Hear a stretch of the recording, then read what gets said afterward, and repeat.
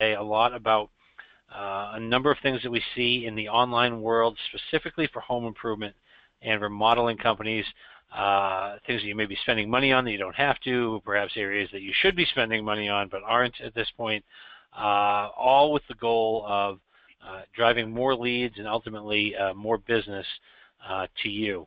So Uh, I see we have uh, a, a, good a good crop of people here so far. We're going to give everybody one more minute and then I will get started and we'll start uh, going through the webinar. Okay? So we'll be back in 60 seconds.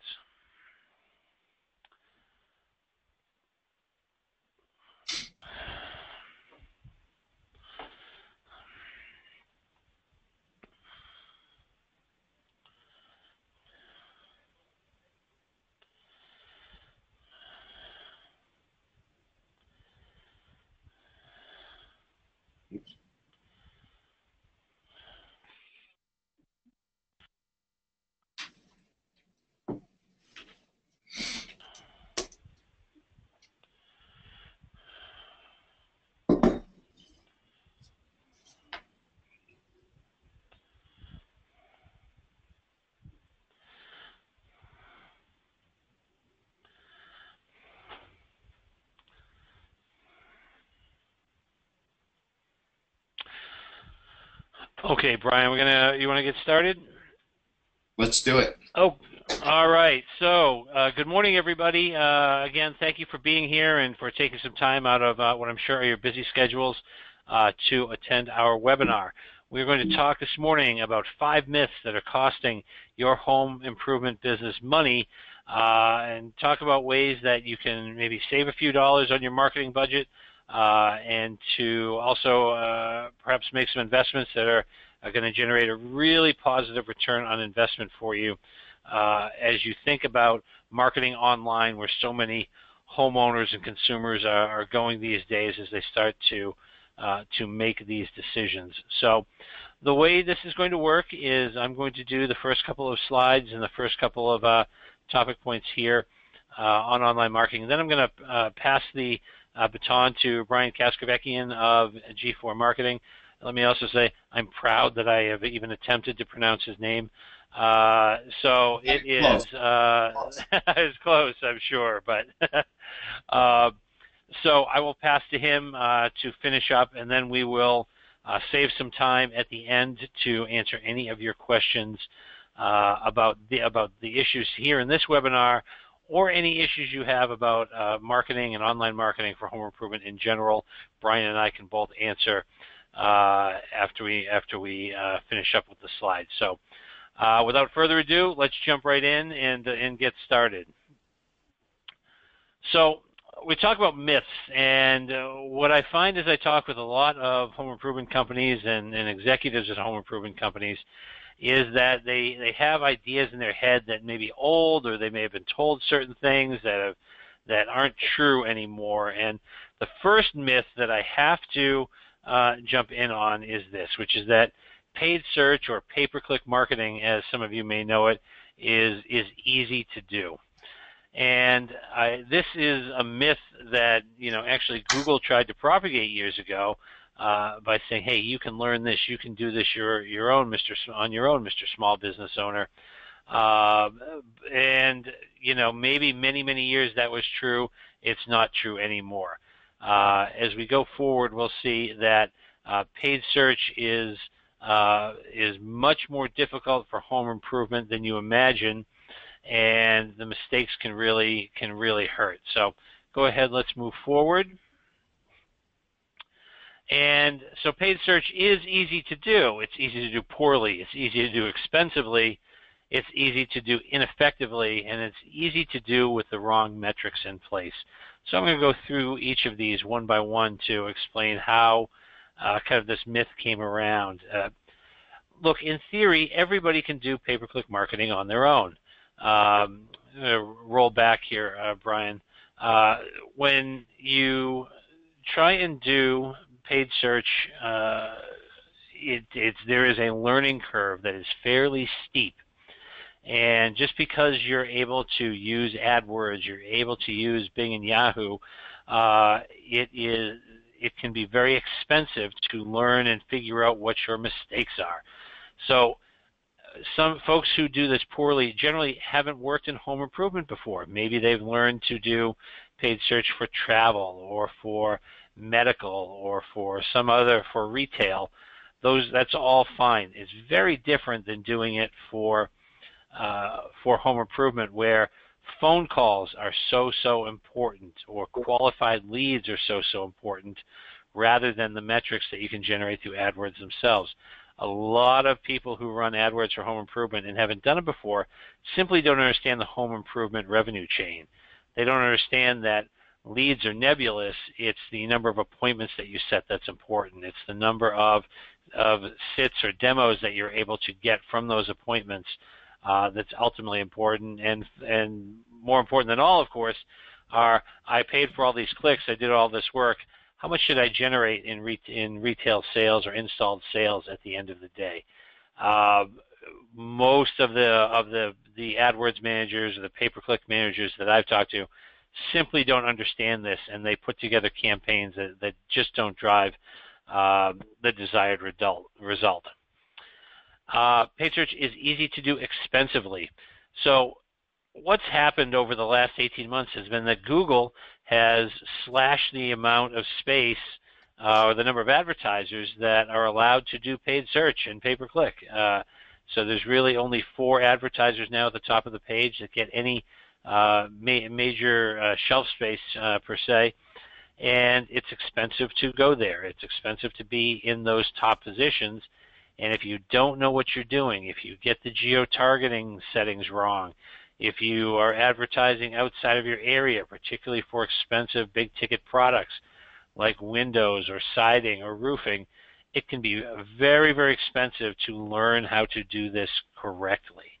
And so uh, it's it's something certainly that we've done over the years. We know the inside, know this stuff inside and out, uh, but they're expensive lessons, especially if you uh, don't know this. Uh, easy to do ineffectively. So paid search and pay-per-click, you think, well, this is a fairly um, simple method. You you pay and you get clicks, and they go to your website, and it should just work. The reality is is that it is uh, much more difficult than you imagine because it's not just keywords and paid clicks. It's the ad copy. It's the landing page. It's the response paths that, that everybody has to has to use in order to get this uh, to work at kind of peak efficiency. If you get any of those areas wrong, so if you have a landing page that isn't converting people, you're just spending money on clicks that aren't going to drive leads. If you have a landing page that doesn't have phone numbers that are visible, people become frustrated and they click elsewhere. Uh, if they're on a mobile phone and they find that your site isn't responsive and isn't easy to use, they don't click to call, they click to a competitor. So there's a whole host of those factors uh, that come into play in terms of doing paid search uh, effectively uh, that, that most, I would say 95% of the advertisers I know in home improvement aren't doing. Uh, and this is what we study and we spend all day with, uh, all the time with, I should say, to make sure that we get it right. It's easy to do with the wrong metrics in place, and this is this is the key. With a lot of uh, a lot of AdWords managers or online marketing managers, what they do is they look just at Google. How many impressions did I get? How many clicks? What's my quality score? How did I how did I uh, score on all of those uh, measures? All of that is fine, but it has very little to do with your business. It has very little to do with what you ultimately want, which are qualified leads, qualified phone calls that turn into appointments and and sits and sits or demos. So it's easy to do with those wrong metrics in place. You really need somebody that has a true home improvement experience uh, there to help you uh, to know, yes, I'm spending money on Google, on Bing, on Yahoo. I need. I'm now figuring out exactly how much of a return I'm getting on those dollars. So why don't we move forward and I'll show you a little bit more on the paid search front. So one of the things that, that we've seen happen over the past uh, couple of years is that people have become more reluctant to scroll And in, in response, Google has become better at giving home at giving homeowners more opportunity before they scroll. So this is a page we I just typed in closet organization. 65% of the clicks from a search are going to come above before anybody scrolls. And why is that? Part of it is, is laziness, but the even bigger part of it is that Google has made it so easy to choose something before you click because this is where they make their money. So if you look at this page, you have one, two, three, you have seven, eight, nine, ten. You have uh, a dozen choices before you have to scroll for exactly what you're looking for. This is where homeowners go to make decisions. They have an interest. They have momentum. Google wants them to carry that momentum forward and then click on the links above the fold uh, versus scrolling down to some of the free listings. So the number of clicks that's happening right there is uh, incredibly high. This is where the volume is uh, for so many home improvement advertisers to get people right when they're hottest. It's immediate. It's deliberate. You get you're getting the audience when they're kind of at the height of uh, the the determination phase as they're starting to think about who they can come and have work on their home very very specifically. So that's certainly happening on the desktops. Go ahead, Brian. Hey Todd, quick question. All yes. of these tiles up here at the top, are those yes. paid spots as well? Uh, in some cases they are. In other cases they're just put up there as brands that Google is using as a uh, as a way to try and get more to deliver very specifically for the brands that uh, they have relationships with to get them right at the top of the page. So closet organization could mean a small retail purchase from Home Depot, or it could mean a $20,000 walk-in closet design uh, from folks. So this is uh, the brand rotisserie that they put in. Sometimes they'll get they won't run it at all, and they'll just go with paid search ads. But it's something they are uh, experimenting with right now. Got it. Cool. Okay. So this is uh, an old search results page, but it's, it's the best illustration of where people click, and you can see it's right at the top of the page. Uh, the old the old joke is if you want to disappear forever, go to page two of the Google results page. Uh, it, it's it's down in the single digits percentage wise the number of searches that go to that second page, and when you go down to the third page, you're at uh, fractions of one percent of the folks actually go after a click. So they are clicking at the top you can see that red, that deep red area is where they are uh, have been trained over the years to look for immediate answers and then ultimately to immediately click. This is not much different on a mobile phone where so much of the traffic is coming from uh, because the mobile phones you can you're you're you're you're not at your desk you're not settled you're looking on your phone you want to click something right there with your thumb on the device so uh, a very similar result we think happens on the paid search side uh, for mobile phones. Okay, let's move on. And the top of the page is is expensive, uh, but the top of the page is also effective. And this is what Google uh, figured out 18 months ago was that they get rid of a lot of the ads on the side of, of their search results page and just focused on the top of the pages. And the top of the pages are where so many of the folks were going. What they've been able to do is to raise the price of those ads and those spaces at the top because they know that's where people are clicking.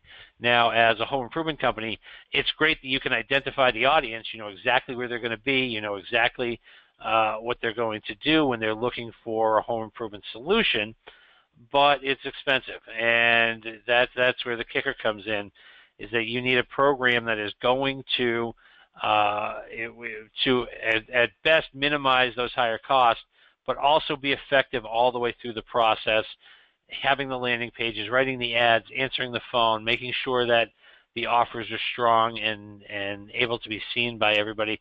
That's how you gain the maximum return on investment from uh, a paid search program. Uh, the the days of this being easy and simple and uh, it's not that difficult, those are over. It's become much more complex and much more of a of a blood sport at the top of the page uh, because that's where the homeowners are and that's what everybody's fighting for. Okay. I'm going to move forward. Here's what it looks like on a mobile phone. So we just looked at um, uh, we just looked at a desktop. Look at how much less space there is here. You literally have kind of three major areas to click on, and that's it. So more than 50% of all searches now are happening on the mobile phone. And the homeowners, we have found uh, the number of leads coming is approaching 35% from what we've seen so far this year. It's coming from mobile phones for home improvement. Uh, that's up from 18% a year ago. It's just been a, a massive change in uh, how the homeowners choose to uh, respond. And so we're gonna we, we do everything we can to make sure we're mobile friendly, and your site should certainly be that too if you're going to do uh, online marketing. Okay, go ahead, and, Brian. And Todd, Todd, sorry that that 35% number. That's interesting. That's for that's for big ticket items, window, siding, roofing, bathrooms. It is. Uh, it is much different than you know five years ago. What I thought was that why would anybody make such a a big decision on a right. bigger ticket item, twenty, thirty thousand dollars? Why would you do that on your phone? But the screens have gotten better, the websites have gotten better, the entire experience yeah. has gotten better, and most importantly, the 45 plus demographic that uh, that we're all, that most home improvement companies are shooting for, that 45 plus demographic has completely adopted uh, mobile phones to as a way of uh, acquiring things, looking at things, making decisions. I have mine here, and to show you how embarrassed I am, I've actually checked my own phone during my own presentation already uh, while we're here. So it's becoming an addictive piece of technology and one that uh, the older homeowners who would be, you know, the prospects for home improvement companies, they're trusting their phone more than ever before, and we don't see that backing off anytime soon. Wow, crazy number. It's it is. All right, myth number two. My website is already optimized, and this I always find to be uh, interesting when I talk with marketing managers or, or folks at home improvement companies you know, a, a lot of times what I hear is, oh, we just spent fifteen thousand dollars, just spent twenty thousand uh, dollars on on redoing our website.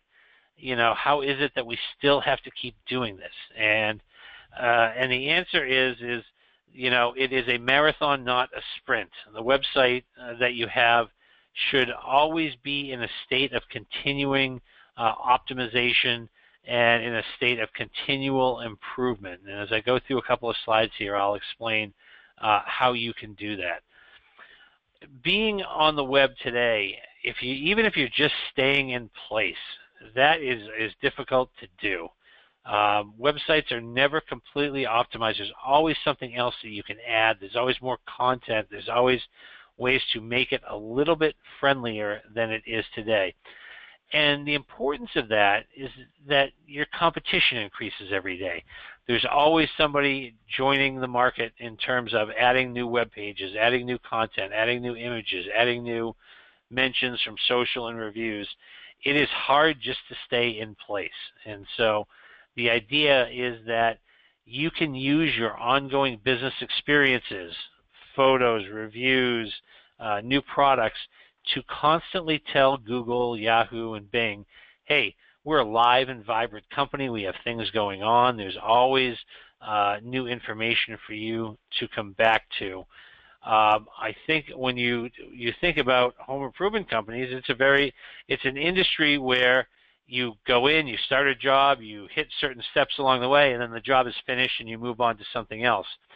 The websites aren't that way, and you go in, you make as many changes as you can to make sure you're optimized, but then you have to keep going all the way as you as you advance on just to make sure that the website appears to be living and breathing to everybody who comes to it. So let's move on to our next slide here.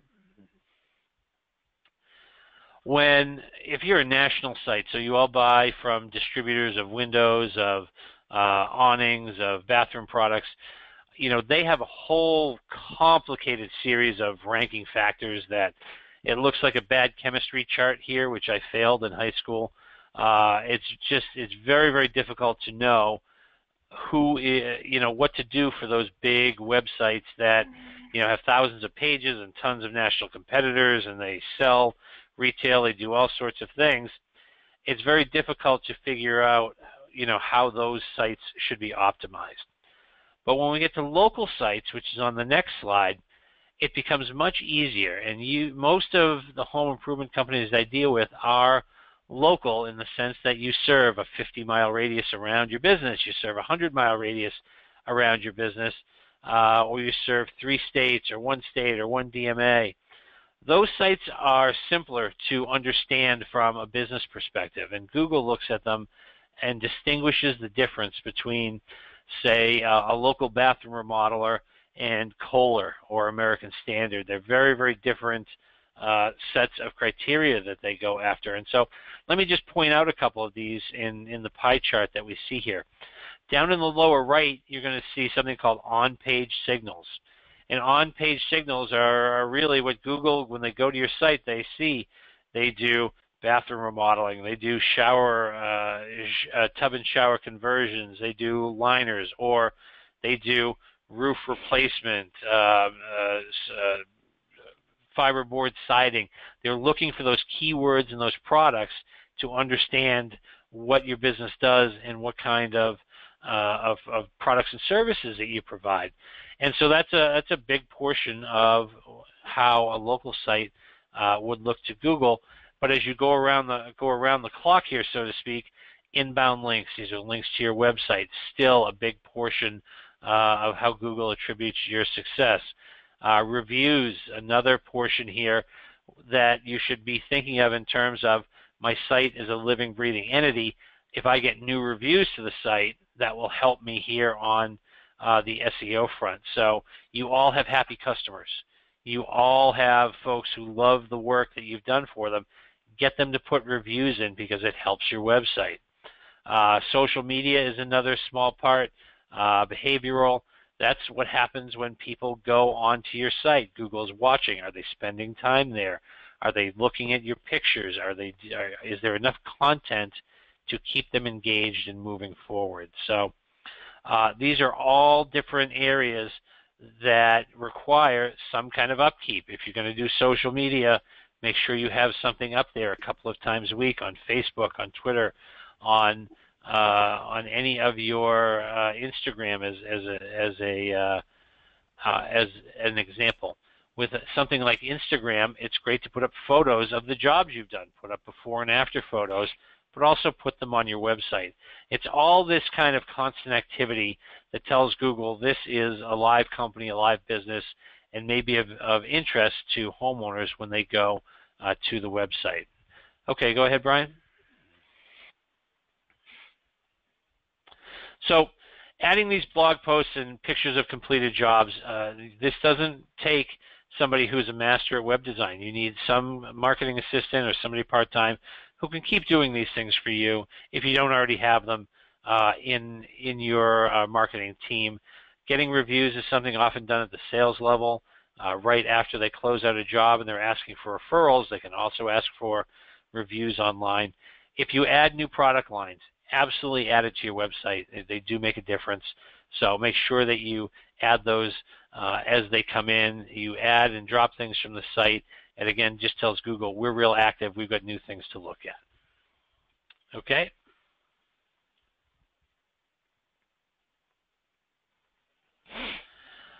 All right, myth number three, and this one is uh, a personal pet peeve of mine. Uh, online listings make the phone ring. So one of the things that I've been bombarded with, and I know all of you have been bombarded with, are these local listing services. We'll submit your information to all of the directories across the web that homeowners use to to find providers. And um, a lot of these times, a lot of times these are software tools, they're automated online tools that you submit your your company's info to, and then they that info goes out to all of these directories, and you get everything in one clean, simple uh, uh, way to distribute everything. And this is uh, one of the things that drives me insane uh, because I have bought all of this. I have bought all of these listings. I have tried advertising on all of them, and for all the work, it just does not drive the volume of leads and phone calls uh, that's promised in any of the uh, pitches and, and, and sales hype that I've heard over time. So let's go ahead. I'll show you the next slide.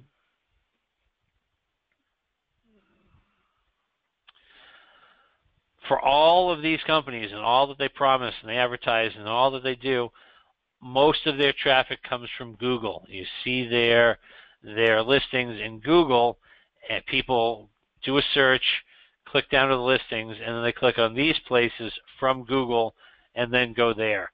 And the the question you know that I get from so many folks is, then why am I buying all of this listing services? Why am I listening to YP? Why am I listening to the old the old school uh, offline providers as they go online? And my answer is, hey, they can sell what they want to sell, but just realize Google is going to provide 80 to 90 percent of the leads that you need and these other folks altogether are a small, small percentage of that. So the next time you get some of these pitches, just remember when it comes to actual leads in the door, Google is far and away the biggest of everybody, uh, and all these other folks are, uh, are really small relative to what Google does.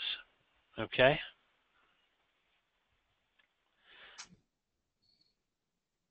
So the pitches are everywhere. You you have all gotten yellow pages uh, solicitations, I'm sure. This is the phone book sales machine, uh, constantly overstating and pitching their importance. Um, a lot of them they're they're not lying. They just don't know the online behavior of homeowners and how that works. Uh, the leads just aren't there. If and I'm being generous here, if you added it all up, all of these uh, produce less than 10% of what Google produces. So uh, focus on what's important. Uh, Google certainly falls in that category, and don't worry too much about these directories.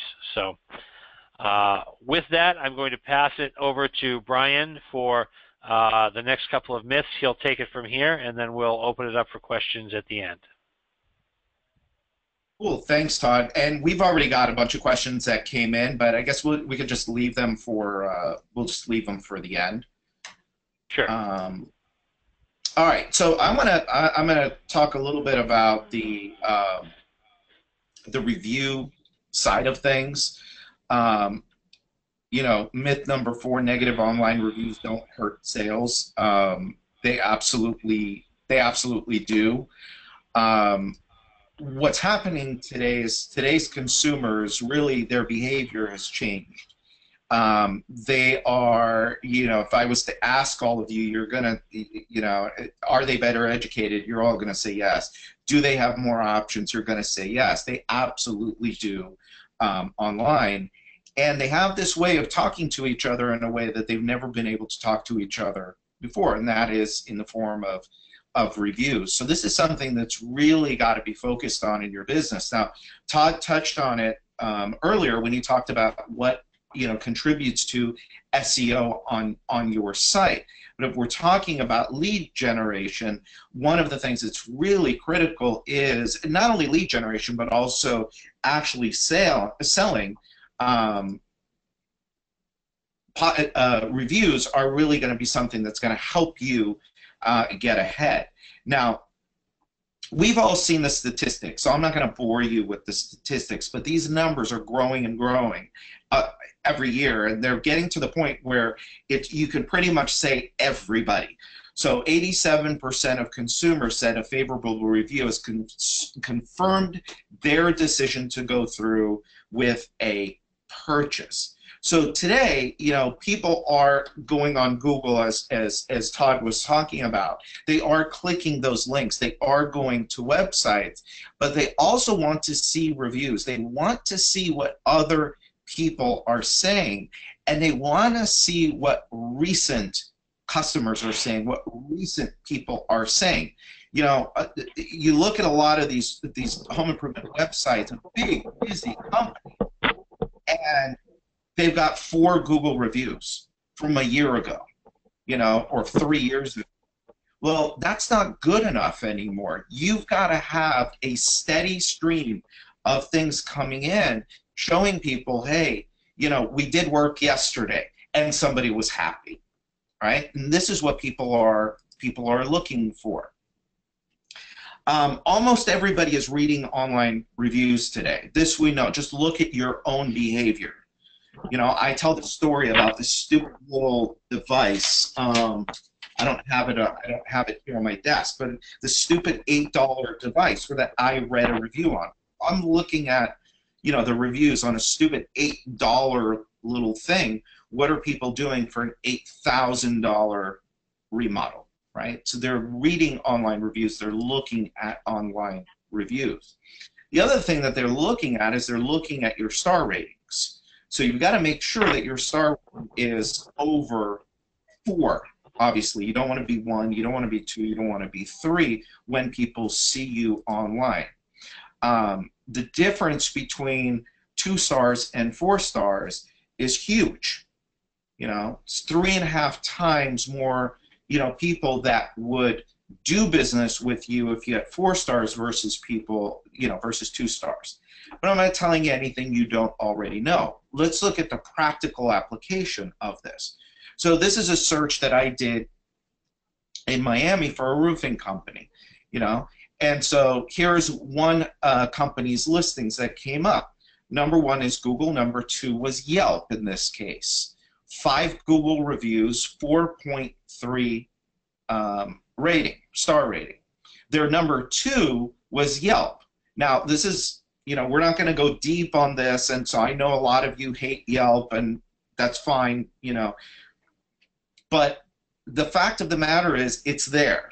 You know, they're there, right? And in this case, it's hurting this company because they've got a one star rating and they've got two reviews. And by the way, this right here, this is a company that didn't even do business with them. All right, so we all know that about Yelp.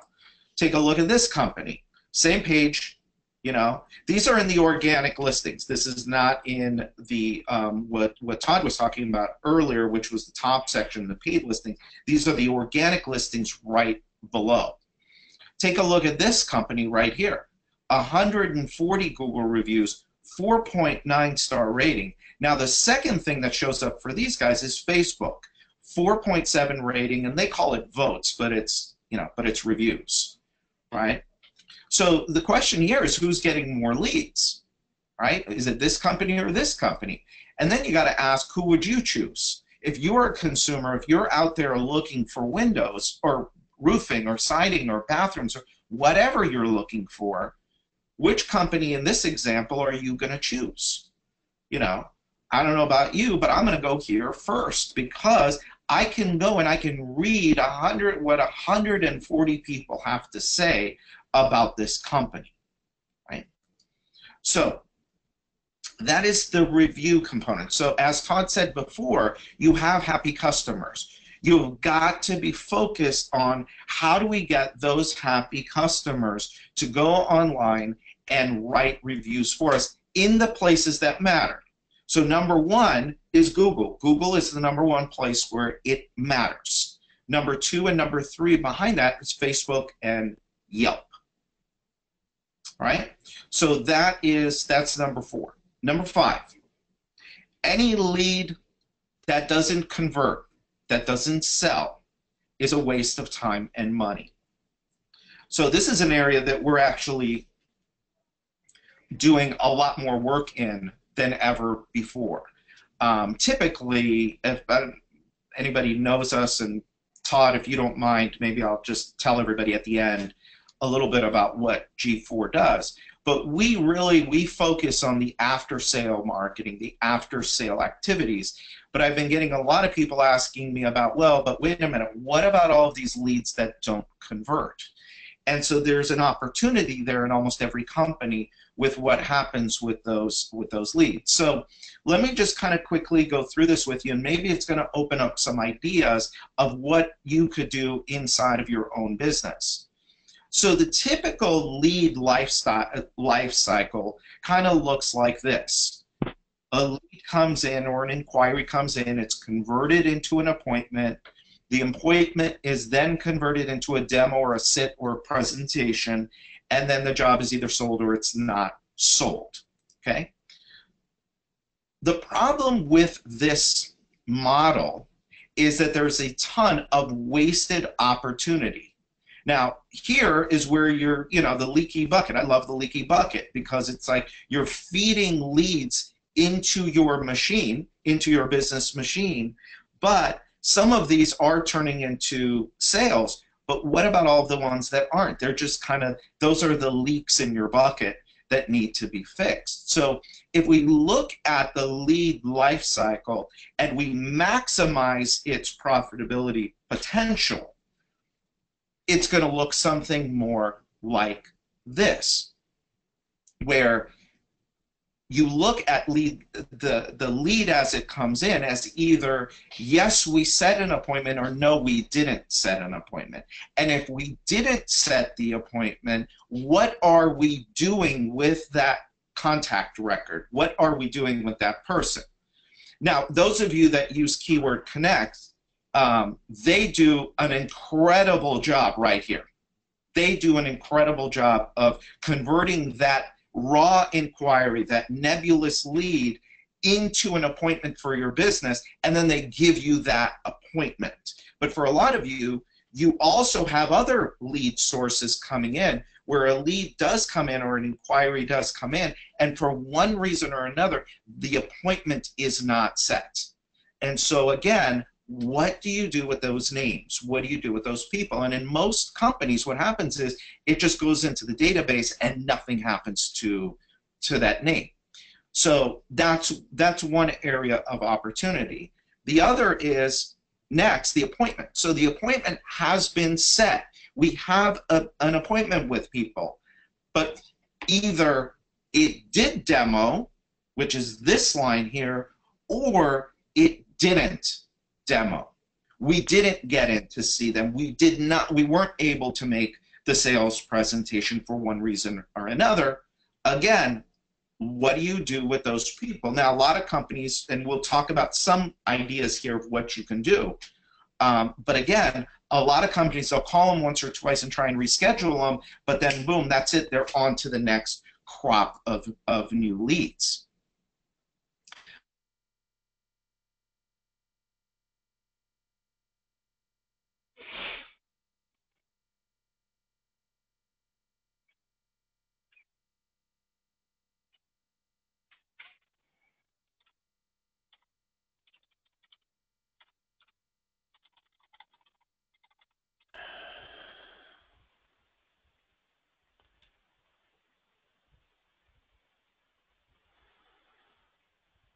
In because it is a huge opportunity. It's kind of like your bonus here is what are you doing with people after the sale has been made, after the job has been completed, after you've collected the money? What are you doing to get those reviews? What are you doing to get those referrals? What are you doing to get them to come back and buy more from you? Okay? So some of the things here that you can do is with you know, the um, lead to appointment is the first thing is better scripting. I'll guarantee you, if you go into Keyword Connects and you go into their call center, one of the things that they hyper focus on and probably obsess about, because this is something I used to obsess about in my home improvement business, was what is the scripting that we're using to convert the lead into an appointment? So that's one thing we can look at. But then also it's what are we doing to follow up with that person if they don't set an appointment? So we've set up systems where we're emailing, where we're texting people. And in some cases, you may even add them into your mail stream where you may direct mail out to these people. Um, but again, you've got to, you know, this is something we look at on a case by case basis. But I'm just giving you some things that you can do in each of the areas. The, the other thing here that we're going to talk about in all of these areas is long-term nurture. What are you doing to nurture these contact records, these leads, these uh, appointments that did not, one reason or another, were not run, were not set, the demos that were not sold? What type of long-term nurture system do you have? Right? So we use things like email newsletters. We use things like texting. We use things like, you know, um, email marketing that goes out just to stay in front of people, stay in front of people, stay in front of people, stay in front of people. Because we don't know why they didn't set the appointment necessarily. Maybe something came up. We don't know how why they couldn't make that appointment that day, why it didn't demo. Something came up, right? We don't know why maybe they didn't buy that night. They may not give us the real reason. Maybe the day that you show up um, is the day they found out that one of their kids just got accepted to a college that they can't afford. You never know. But the situation may change a month later, three months later, six months later, a year later, two years later. Right? And so the idea is to stay with them and stay with them and stay with them and nurture that lead along until something happens. I, I say, and I'll just say it, you know, among our small group here, as they buy, they die, or they opt out. Right? They tell you just stop. Don't send me anything else. Right? So in each of these areas, we could follow, basically follow the same strategy is what are we doing to recover that appointment or recover that sale. But but if we can't recover it today this week right now what are we doing to make sure that we stay in touch and stay in touch and stay in touch with these people? Again until they do something definitive like buy like die or opt out of your your sequences um, again same thing here with rehash i my contention is the further along they get in your process the further along they get in your process, the more valuable they become and the more resources they deserve to be thrown at them. Or I, I shouldn't say maybe deserve, but the more resources you can throw at them in order to get them to convert, right? Um, and then, and then again, I just wanted to mention here post-sale is what are you doing to stay in touch? What are you doing to make sure that that customer stays with you and is not going to go somewhere else? What are you doing to make to help them make referrals to your business? What are you doing to get them to send you reviews? And what are you doing to develop that long-term connected relationship with them so that when the need comes up, when the opportunity comes up for the next project, they're not going to go somewhere else looking for it.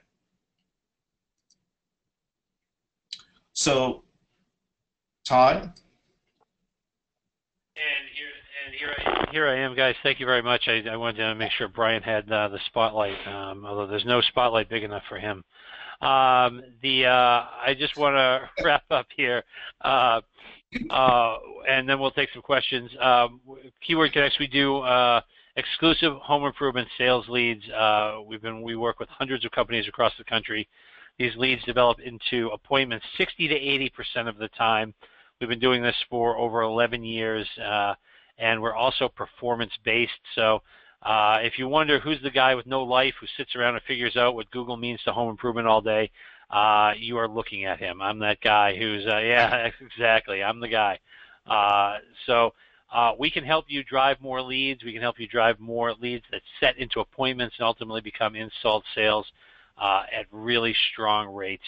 So uh, if you if you think of it, give us a call afterwards or uh, subscribe to our blog. Uh, we'd love to uh, tell you more about what we're doing. All right. Um, I have the console here, so let's let me throw some questions at you, Todd. Most of the questions are for you, not for me. Um, I'll take some questions too, people. um, all right. What about what about the Google limit of four ads at the top of the page that you mentioned? Okay. Not sure what that question so, is, but you might. Sure. And so what happened was uh, this was uh, about 14 or 15 months ago. Uh, Google for years, and I mean for a good 12 years at least, uh, had run kind of three ads at the top and and then another eight or nine ads on the side. And then I got, I'm not kidding, I got a text from somebody on a Thursday night saying Google is changing everything come Monday morning and they did. They got rid of all the ads on the side of their search results pages and then just focused on on four ads at the top. What this did was it forced a kind of you're moving up or you're moving out kind of a strategy among advertisers uh, that if you were just trying to get cheap clicks down on the right hand side, Google was not going to allow that anymore. You were going to pay for the privilege to be up at the top where all of the uh, major traffic is, and you couldn't get by on lower cost per click or lower budgets.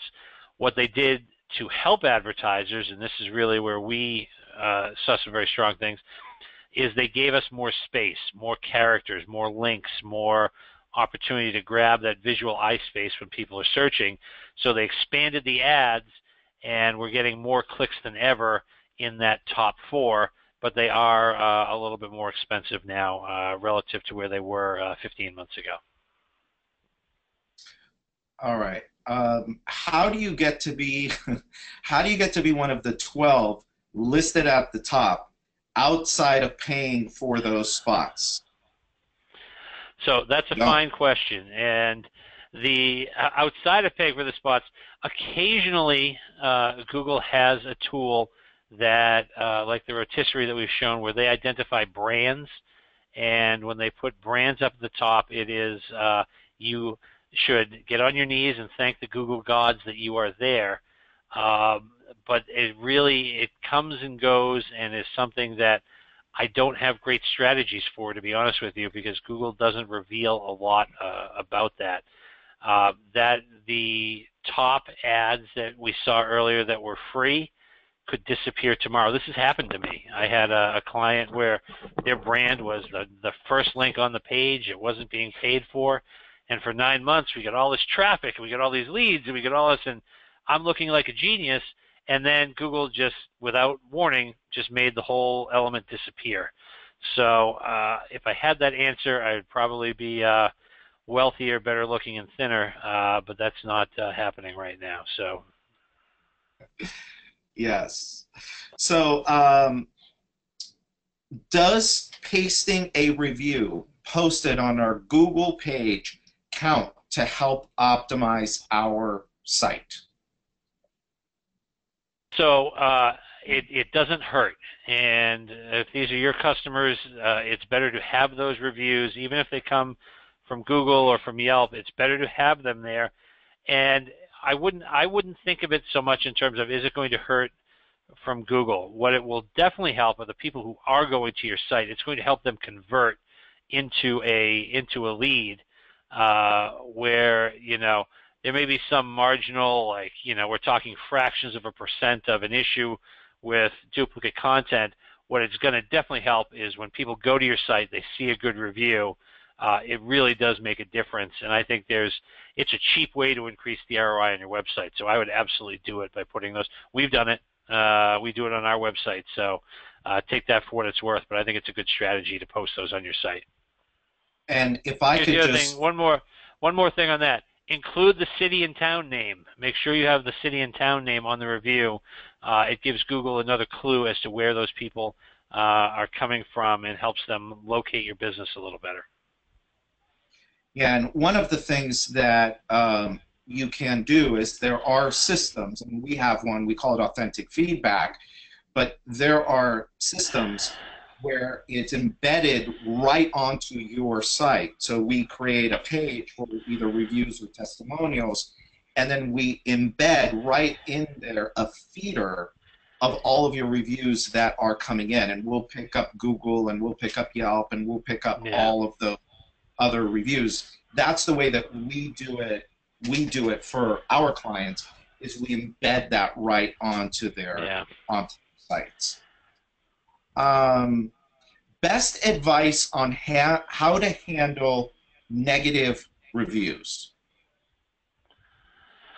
Okay, so in terms of negative reviews, the number one thing that that will help you combat negative reviews are getting other positive reviews. What happens in the life cycle of a review is it goes live and it may appear right at the top of your reviews. So you could have eight or ten great reviews and then one negative one on top. If you immediately go out and get three or four more positive reviews, it pushes that bad review down. It can push it to the second page of your, of your reviews where fewer and fewer people are going to see it. So when I when I, I say at the end of your sales get a good review, those good reviews are going to overwhelm, but they're going to, if you think about steps like a ladder, if you have a bad review at the top rung, and then it goes down a rung and down a rung and down a rung, the further you push those leads down, the fewer people who are going to to see it. Uh, the other thing that I've seen is you can reply to reviews on some services don't get into a, a, a, shouting contest or a troll war online. It is not worth it. Nobody ever wins. Uh, what I do say is, write a, just write a reply that says, "We're sorry that you weren't that you weren't happy with your experience. We'd love we'd love to make it right for you. We have hundreds of satisfied customers. Please call me." And that at least shows you're responsive. It shows you're trying to answer questions about the job and uh, is generally well received by other prospects who are looking at the review. Yeah, absolutely. Um, James is asking, uh, do you have different, oh, this is for me, Brian, do you have different uh, monthly budgets for various size companies? Um, yes, we do, of course. Um, just reach out to me and I'll be happy to, uh, to help. Um, okay, um, we are already using Keyword Connects. Great. This is from Scott. Excellent. What do you see the future is uh, bringing to us that we might not know about that we should use our money to upgrade our marketing process or processes? Basically, what's coming down the pike, I guess. All right. So I'll tell you a couple a couple of things that I can share with you. Uh, I think at this point, uh, one of the things that Google is about to make a bigger push in are, are video ads, uh, and their video ads as well as potentially using their an AdWords type system for uh, buying television advertising. Uh, they have tried this before; it didn't work out real well, but they're just relaunching this right now, and so you may at some point be able to buy um, offline ads in conjunction with online video buys uh, that I'm keeping a real strong eye on. Um, if there's a way to do both, uh, to get views from both video and offline, and you can buy it more cost effectively, I think that's a big market that Google wants to take a shot at. So I don't think it's going to happen, you know, this summer, but it may be something that starts to gain steam uh, for ne next spring selling season. Is that something that Keyword Connects would start um, doing for for its clients? So we are. So number one, I am the biggest Google sucker out there. I will try everything and anything that they have uh, for home improvement, and this is something we've talked about with them for a long time. It's now kind of uh, semi-ready for prime time. So when we get to that, we'll absolutely be able to do that as long as it drives leads. And if it if it drive if they start to give us st other statistics and changing the measurements, you know, interactions don't mean anything to us, or you know, average viewing time. Uh, that stuff is is soft. We need it to generate leads, and as long as it does that, uh, we will continue with that. Absolutely. Awesome.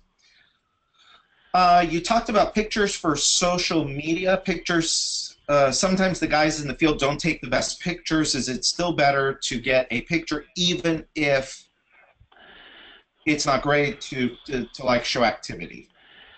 Yes, absolutely. And um, it it doesn't take long. It doesn't take long. You know what I see a lot of uh, folks doing, uh, especially on the kitchen and bath side, is they're taking you know half day photography classes and just showing people real brief things here's how you frame a picture, here's the rule of thirds, like really basic stuff can improve the quality of, of the photos that they take. I know it sounds silly. You mean I have to have my installers take a photography class?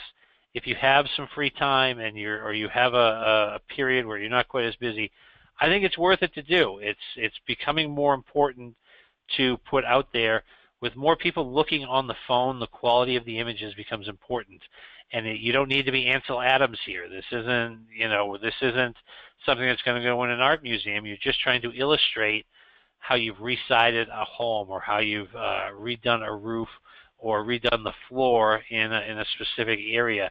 It's, it's pretty easy to do. I think it's just a little bit of training makes all the difference in the world for, for those photos. Cool. Um, Todd, with Google owning YouTube, will yes. keyword start adding YouTube AdWords to have ads that run before viewing YouTube videos? That's a great question. So it is a great question. I'll tell you our experience with YouTube. We have done it for certain clients who've who've been willing to give us budget to do it. Um, and the the video ads, uh, a lot of times, the, what's held us back is we're at the mercy of our clients filming those ads and, and doing the production on those types of uh, those types of videos. We've done all of the ads that we can buy and create ourselves. They're either small banner ads or they're text ads. Uh, but doing the the small video ads, that's something we you know, we'd have to get from the client uh, and and then add and roll them that way. But for absolutely, if you're a client and you have that type of stuff, we'd love to give it a shot. Cool. Well, that's all the the questions. Uh, there's a lot of questions. Those are good questions. I mean, people, everybody's yeah. paying attention. That's great. Yeah. Well, thanks for having me, my friend.